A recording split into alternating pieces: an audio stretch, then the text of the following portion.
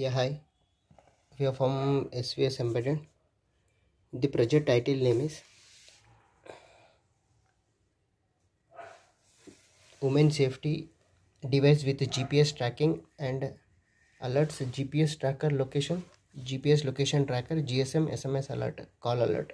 So in this project we are using 0 to 9 volts adapter power source we are using and it is connected with the Arduino Uno R3 ATmega328 controller board IC we are using. GSM SIM 800C for SMS alert and call alert. GPS GY6M V2 GPS module connected to the third pin.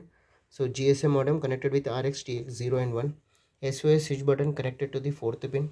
16 cross 2 LC display connected with the RS enabled D4 D5 D6 D7 8 9 10 11 12 13 and one alarm 1 and an alarm 2 this is our total block diagram of the project. Let us coming into the hardware part. So here we are using 0 to 9 volts 1 ampere adapter power source we are using. Okay. So here bridge rectifier filter capacitor 7805 regulator and one led 5 volts power supply. That same power supply is coming to the uh, gsm module also. So gsm sim 800c you can use idea airtel vodafone bsnl sim card. Sms balance main balance is required so here we are using idea sim card. Cut should be outside okay? This should be goes inside flat okay? So this is sim card. Sim card i am inserting okay? Press it it will come outside. And press it it will go inside okay? So gsm sim 800c for sms alert and call alert.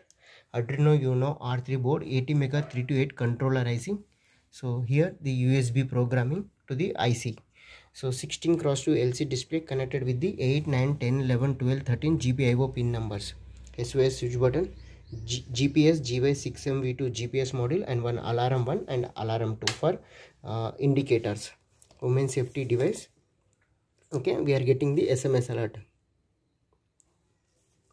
Gps location and gps module is connected.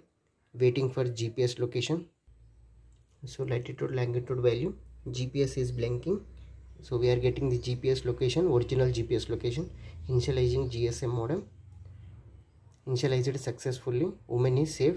A long press. Okay. So alarm 1 on alarm 2 on. Sending sms alert. Now i received the sms alert. Woman in trouble. Press this location. And it will show you on the location now it is calling the mobile number one. Now i am getting the call alert. Okay. So sms alert as well as call alert. So this is block diagram of the project